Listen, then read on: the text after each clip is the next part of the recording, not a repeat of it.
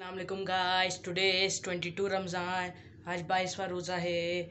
आज मैं आपको दिखाऊँगा आज मैंने क्या क्या खाऊँगा रोज़े में।